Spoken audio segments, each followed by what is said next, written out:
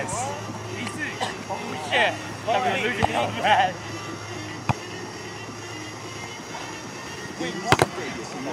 Okay, go here. You just drop in. It's like whoop! oh yeah.